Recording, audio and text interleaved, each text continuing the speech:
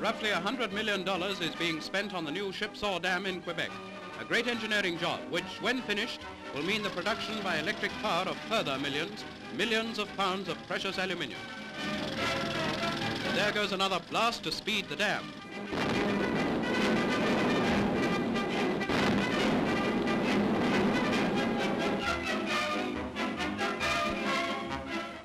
If you're in the million mood, you'll be interested to know that when the hydroelectric power is fully developed, it will generate 1,500,000 horsepower. Some horse.